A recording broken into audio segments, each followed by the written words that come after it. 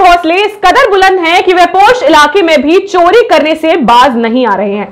ताज़ा मामला civil line थाना क्षेत्र के देरी रोड पर खुले श्री महालक्ष्मी ज्वेलर्स की शॉप का है। रात के वक्त चोरों ने छतरपुर के सिविल लाइन थाना क्षेत्र के देरी रोड पर खुले श्री महालक्ष्मी ज्वेलर्स की दुकान पर लाखों रुपए के जेवरात पर हाथ साफ़ कर दिया, जिसकी तस्वीरें दुकान पर लगे सीसीटीवी कैमरे में कैद हो गई। वहीं वारदात के बाद मौके पर पहुँची पुलिस ने वीडियो फुटेज के आधार बनाकर चोरों की पहचान कर उन्हें जल्द गिरफ़्तार करने की बात कही है। जानकारी के अनुसार दो चोर शॉप का शटर तोड़कर शॉप के अंदर जाते दिखाई दे रहे हैं। देरी रोड पे जो चोरी हुई है, उसमें थाना प्रभारी एसडीपी साहब, फोरेंसिक की टीम और डॉग स्क्वाड पहुँच चुका है और आवेदक जब अपनी विस्तृत जानकारी देगा, उसके बाद ये बता पाना मुमकिन होगा कि वो कितने की चोरी है।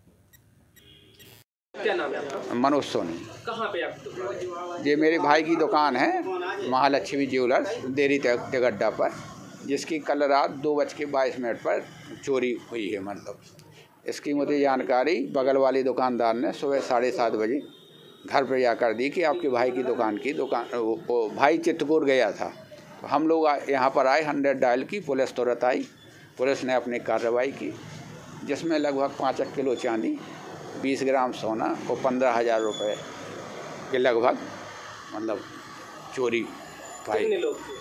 वो तीन लोग थे और वो सीसीटीवी की फुटेज भी है उसकी जो सिविल लाइन थाने को भी दे दी गई है आप लोगों को भी दे दी गई है। सुशील शिवहरे की रिपोर्ट। बुंदेलखंड आए और पांडे जी का रसगुल्ला ना खा पाए तो भैया खाक बुंदेलखंड आए जो सिर्फ़ बरुआ सागर में नहीं पूरे बुंदेलखंड में फ़ेमस है भैया। तो अब की बार ज़रूर आइयो। पांडे मिष्ठान भंडार, बस स्टैंड के पास बरुआ सागर झांसी। काव्या स्मार्ट रेसिडेंसी मऊरानीपुर में ठहरने का एक सर्वोत्तम स्थान, फुल एसी रेस्ट हाउस। शादी, विवाह, बर्थडे पार्टी किटी पार्टी व अन्य शुभ अवसरों के लिए संपर्क करें। Kavya smart residency, petrol pump के पास, स्टेशन रोड मऊरानीपुर कृषि के क्षेत्र में सवारे अपना भविष्य। आज ही एडमिशन लें। ज़िले का सबसे उत्तम कृषि महाविद्यालय श्याम राघवेंद्र कृषि महाविद्यालय व डिग्री कॉलेज।